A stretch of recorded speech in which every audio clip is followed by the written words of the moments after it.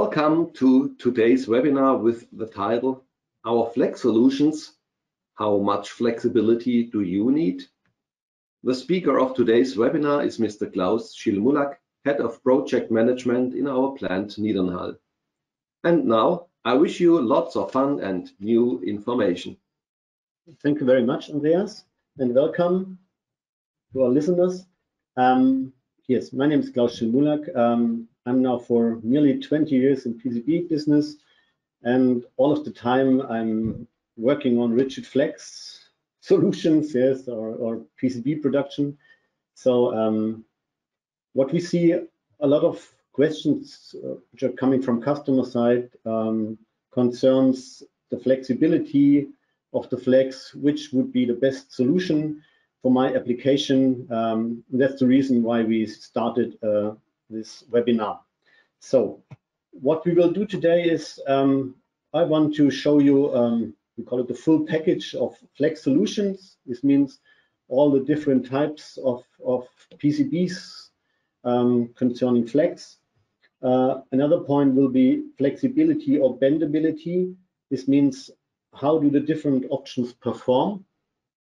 Um, we will show you um, the digital available stack-ups for your EDA software, uh, which is which is available on the uh, homepage of Würth Elektronik. Um, these are standard stackups, uh, and of course, that's not all uh, you can get from Würth Elektronik. We also have, uh, would say, customized optimization points or customized stackups. Uh, that's the point project-based optimization. And at least, of course, um, I will tell you something about flexibility and cost in relationship. Um, that's the last point, but not the most interesting, I think. so, um, because it's a technical webinar. So um, we will start, um, right, um, spectrum of VE Flex solutions. all about Flex or PCB, of course, is controlled by IPC standards. Um, for rigid flex design and, and, and flexible design, um, you will find all information in the IPC 2223. Um, this paper concerns about dielectric flexible films like polyamide or polyester. Uh, in this webinar, we talk only about polyamide. Um, that's one point. Another point is um, copper foils are defined. Um, copper foils like ED or RA copper. This means electrodeposit or rolled annealed copper. There are nearly eight different types uh, in the IPC um, for copper foils. Um, next point is a completely flexible or a combination of rigid and flex printed circuit board, which is part of uh, the IPC, which is described in the IPC. Um, and of course, most uh, interesting now is the application. One is a flex to install, of course, we call it static, or application B, uh, it's permanent, uh, which means dynamic um, bending. Bending is always, um, um, yes, it would, would say, um, kind of tension and compression. Um, of course, tension is on, on the outer layer, uh, on, on the outer radius, the compression is on the inner radius of the flex part. Uh, there's no um, exact definition or, or, scale of bendability in the IPC um, because there are large numbers of influences. I will show you this in the next point. So we will start with a short survey um, before you get any information. So uh, we want to know what are the different flex solutions you already know. Uh, we have a multiple choice, so we will start it.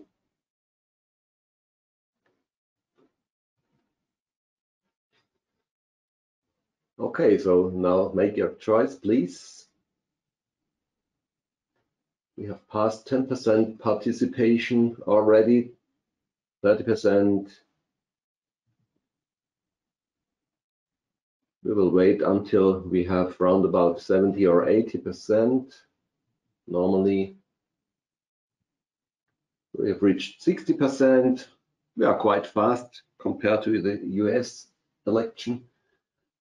Okay, so we have 70%. I will wait five more seconds. And now we will close the poll and show you the result. So we can see that, of course, rigid flex is well known, but also some of you already know bend flex and slim flex. So it's quite good spread it here. Okay, um, that's our first survey. We will directly make the next one. Uh, uh, now we want to know uh, what different flex solutions you are already using today.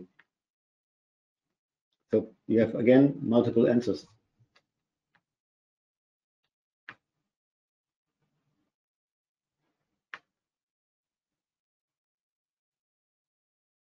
Okay, we have already 40%, 50%, 60%. So wow, you are really fast today.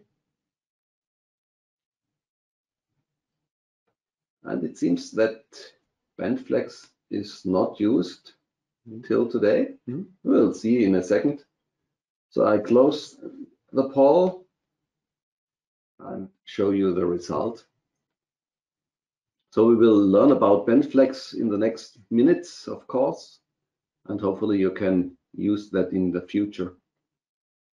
So again, rigid flex has the most use in our participant area. Okay, so that's the result. Okay, thank you very much.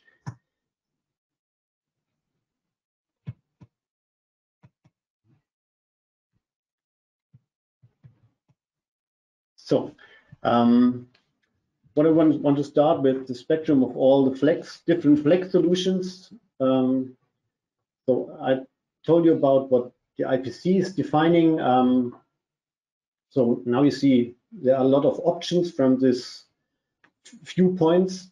The first point is we call it semi-flex or bend flex. This is roughly a full rigid board. Uh, where we thinned the FR4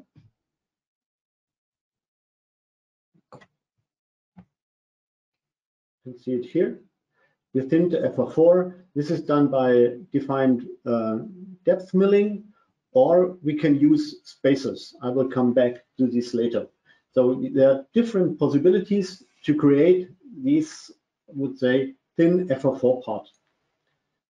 The next uh, stack up possibility is we have a 1F3RI, and the, the, the, example is an eight layer multilayer, same here for rigid ones, uh, for rigid ones, of course. Um, we have a 1F7RI, the, the, copper layer is on the outside of the flex, yeah? and we have in, in the rigid area, in summary, eight layers. Another possibility for, for the stack up is you have two layers on the outside, two copper layers on the outside. And of course, you have always a polyamide foil.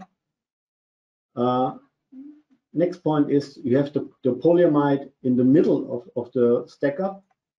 This can be can can have two two copper layers, or you can have four copper layers. They depend on the layout, of course. Um, next possibility is um, you have a full flex with two layers. We call it pure flex, or you have a slim flex. Uh, slim flex means you have a multi-layer. Um, would say you have up to four, six, eight layers um, with with uh, a, lot of well, sorry, a lot of with a few lamination steps. We start with a two-layer, and we have with every lamination we have two more layers with sequential, sequential build-up. All these stack-ups are, of course, available with HDI technology. So we will get more detail about the semi-flex or bend flex. This means, once more, it's a rigid multilayer, uh, and we create a thin uh, rigid layer by depth milling, or we created, I would say, transforming the technology technology for rigid flex to a rigid multilayer.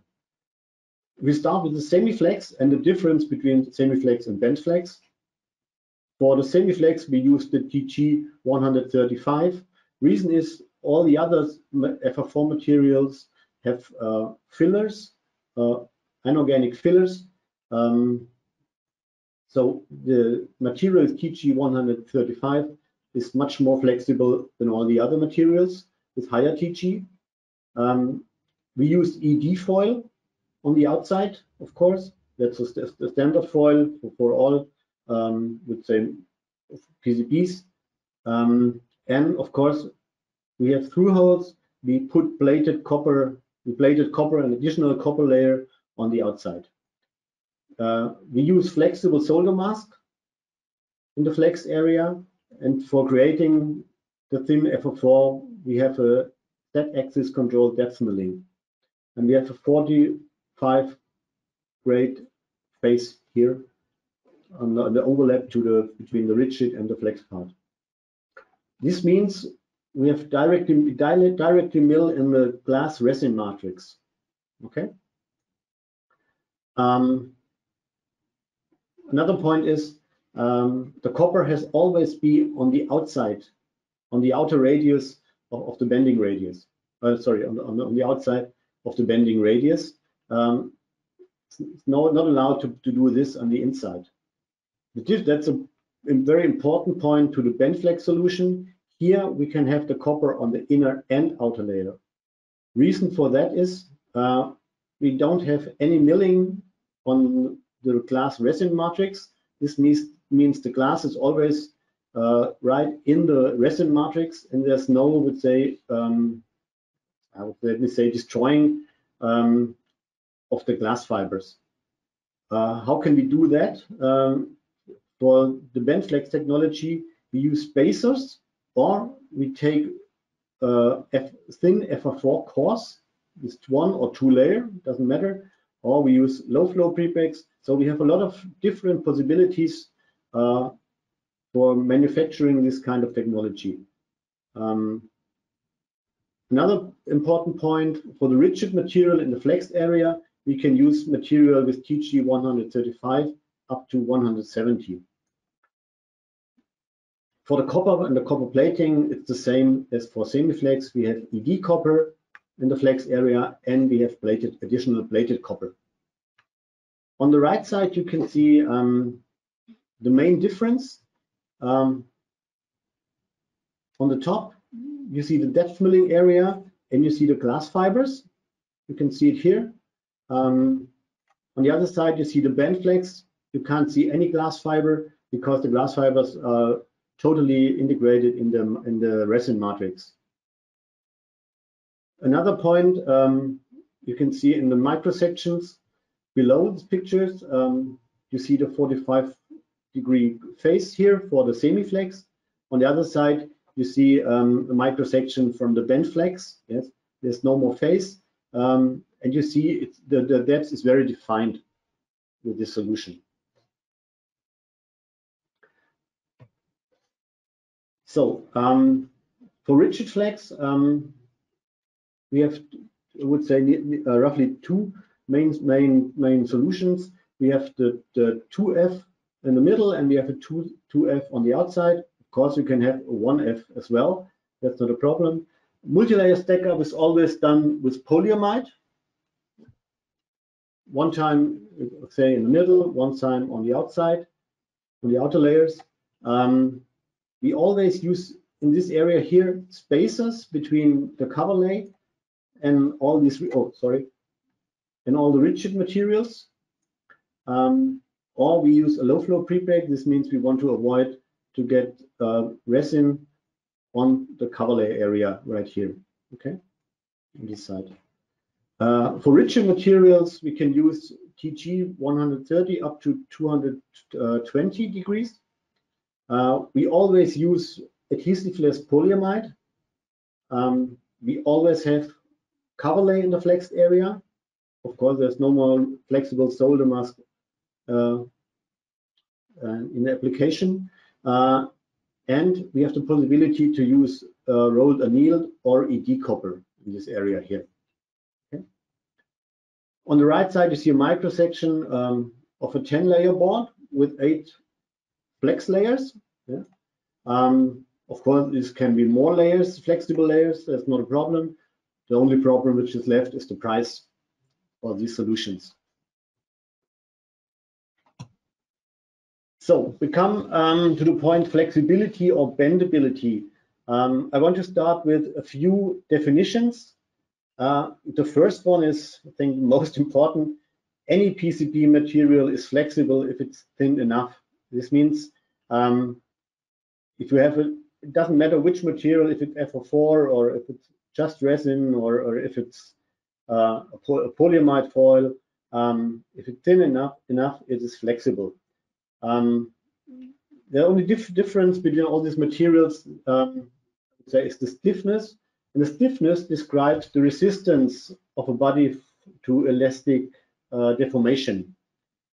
Another important point um, is the flexibility. Um, that's the ability to adapt to changing circumstances, and most important, of course, the ability to bend. And this happens easily. Bendability describes the forming process, and bending stress act always in the forming zone. So we have um, uh, tens tension and compression in this area. Bending radius describes the radius uh, with which the material can be bent without cracking. Um, the material is bent as closely as possible for 180 degrees, and the radius is determined on the inside of the material. You can see it on the right side. Um, another very important point is rolling direction. I told you already about uh, rolled annealed copper foil. Um, for flexibility, it is very important uh, to look on the direction of the of the of the annealing uh, copper. Um, it's fiber-like structure, uh, which is created by this uh, rolling of the copper um, and the elongation of the fibers has to has always to be in the rolling direction. You can see it on the right, left side, sorry. On the right side, you see it, that's that's the wrong uh, direction uh, for bending. Um, so every advantage of the rolled annealed copper foil gets lost if you do it this way. So um, I told you about bendability and copper foils and polyamide. So the next answer, uh, question, which, sorry, uh, which we have for you is polyamide laminate is used for rigid flex printed circuit boards. For how many bending cycles is the material specified by, new, by the manufacturer? Um, manufacturer, I think we want to know, I would say, the most um, well-known manufacturer, and that's DuPont. So everybody think knows who's handling about Flex, knows uh, the supplier DuPont. So we want to have a look on his specification data.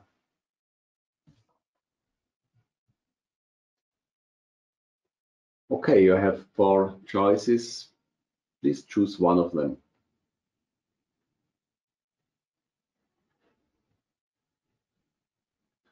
So we've got around about 50%. We will wait another around about 10 seconds.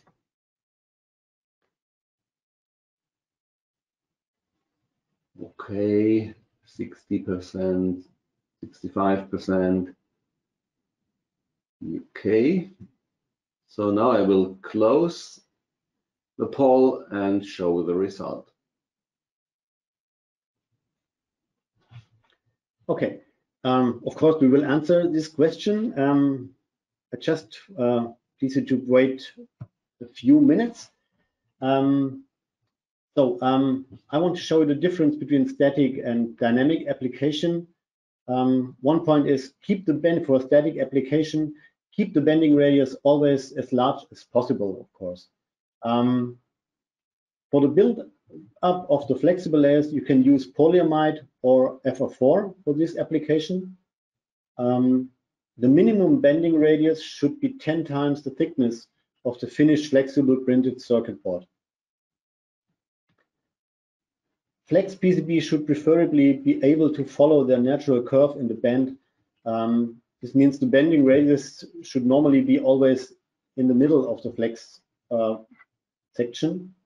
Uh, for FR4 semi-flex printed circuit boards, the use of a bending support performing can be useful because uh, at the next point, the FR4 material, or which is normally about 250 micron thickness, and polyam, but also polyamide with a high copper layer count or a high thickness of the polyamide in the flex area can describe more as less stiff. This, this means they are not more no more flexible. Um, of course, in, in, in a in a I would say in, in a uh, in a, in uh, narrow. in a narrow, narrow way. Um, so um, they are more or less stiff. They, they have, have, you have to need, you need high strength to bring them in the bending, in a bending form. So on the right side, you find guidelines for everyday practice. Uh, the first three are polyamide constructions um, with, with the diameter and the flex area from 120 up to 300 microns. And you see the minimum bending, bending radius on the right side. For FR4 semi-flex or bend flex, the thickness is, is that much is, is, is, higher than for, for, for the for the polyamide, for the smallest polyamide. Uh, but what you see for the same thickness, the bending radius is much higher than for the polyamide.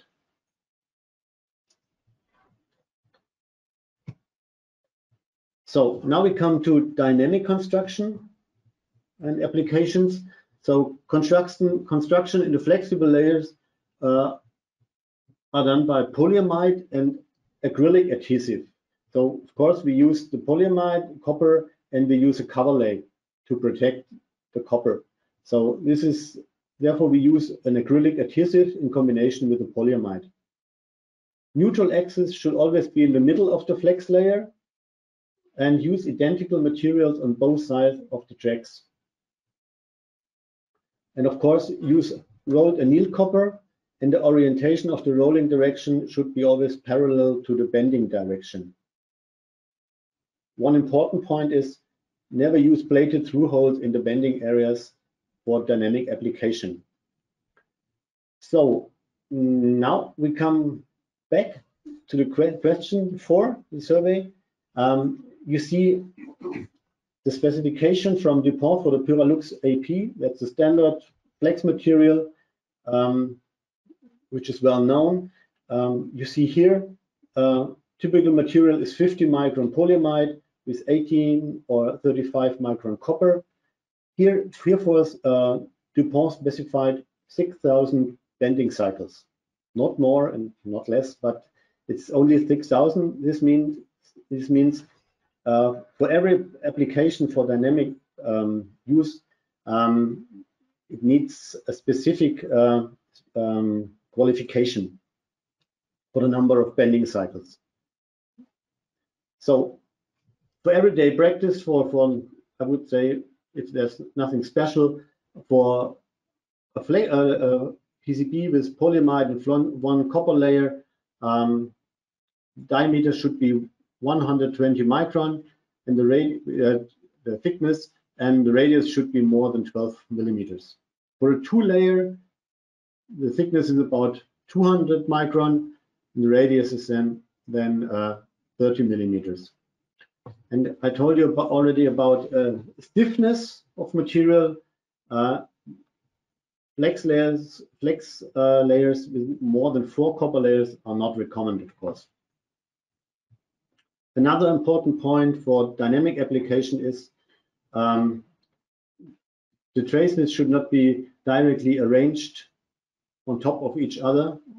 As you see it here in this, this point, there should always be, I would say, a shift between the, la the layers on from top to bottom.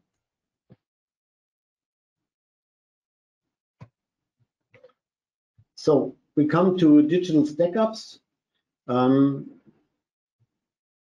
you can see it here. Um, we have different possibilities, of course. That's opportunities I showed you already before. Um, we have different possibilities for, for EDA tools. You can we have stackups for Cadence, we have stackups for Altium, of IPC stackups. Um, you can import this, uh, you can download these stackups and you can import it directly in your EDA tool. EDA tool, sorry. Um, we have the, the different stackups for flex widget layers inside, flex widget layers outside, two layers, four layers, and for all the flex, the only flex, just flex uh, stackups with stiffener or for the slim flex buildups. So why uh, did we do this? Of course, um, first point is to avoid errors. Um, but by importing directly the stackups, you avoid, avoid uh, all possible uh, errors in, in the layout design. Um, you can increase the productivity, of course, because uh, you get you can download the design directly. We have proven stackups. Um, this this makes the manufacturability manufacturability of the PCB and the reliability um, sure. This means uh, we have a lot of experience using these stackups, um, and of course, um, it's achieving safety. Uh, because of uh, because it's cost optimized standards. Um, materials are on stock, so uh, we don't uh, lose time by ordering materials and wait uh, we have higher for the um, delivery of the material. So it's cost effective and you have high quality and short delivery times.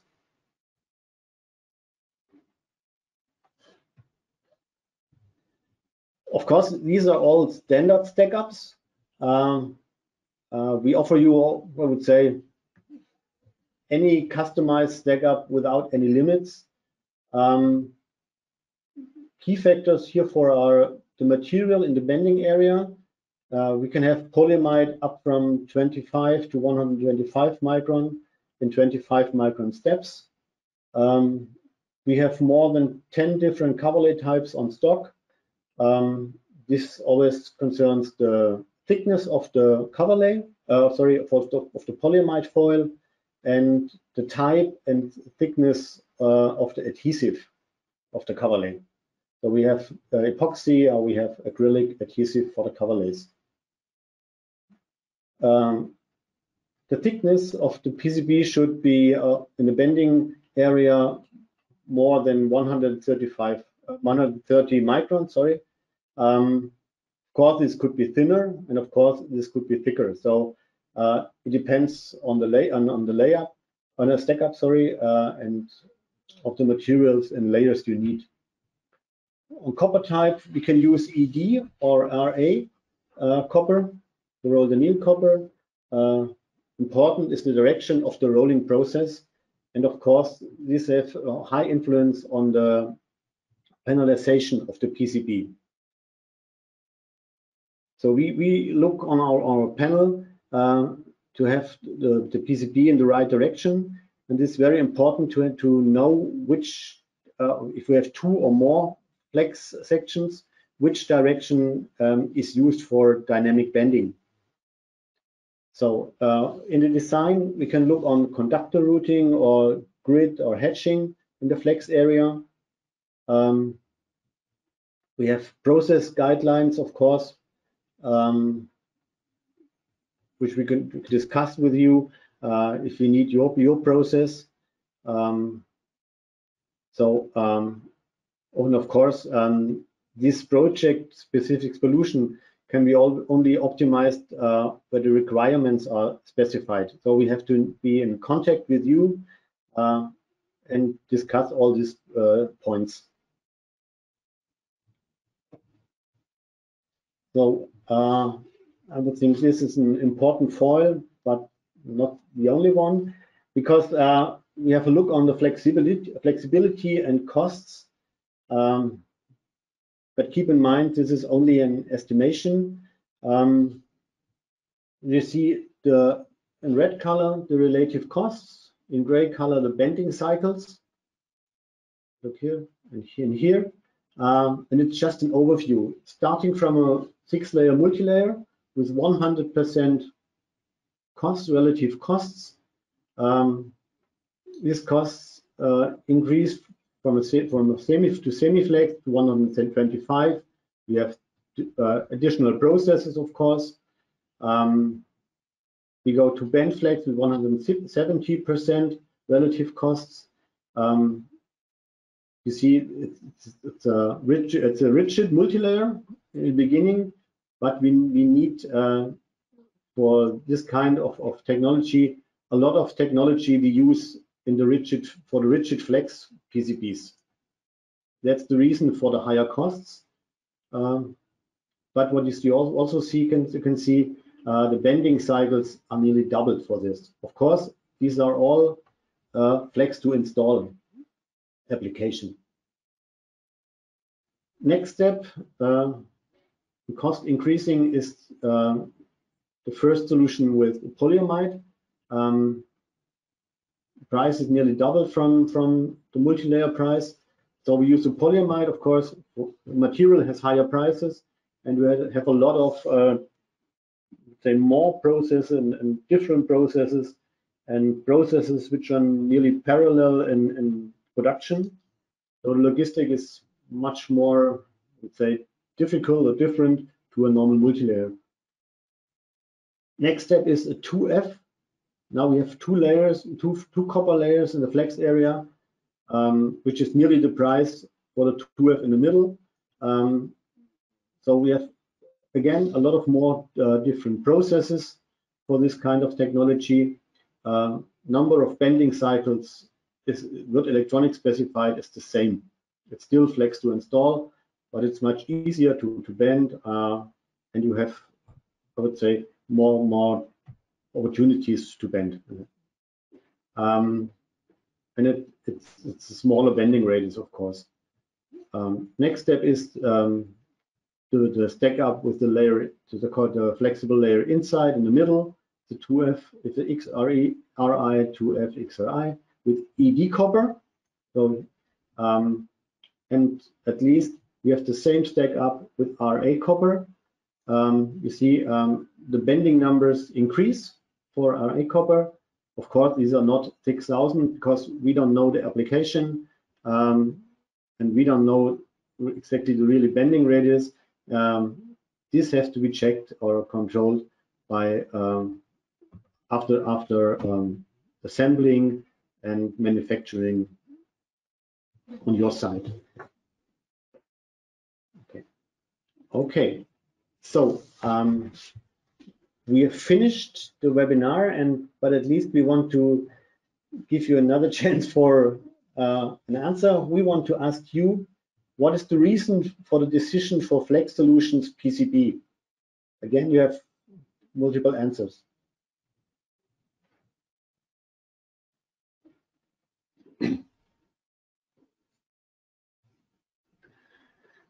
Okay, we have uh, already 30% participation, 40%, 50%.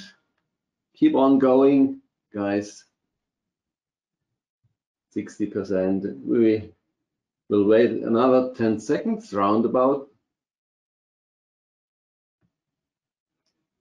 And then I will close the poll. Okay. So this is what we've got from you. So the main answer is it uh, depends on the situation, on the installation position. Um, the other two points are also very important. System codes, cost to analyze uh, and reliability requirements around about 32 or 30 6%. Okay, thank you. So now we are at the end of this webinar. Um, not the end, um, the end of the presentation, but um, now we have the chance to have more and more questions uh, concerning Flex rigid applications.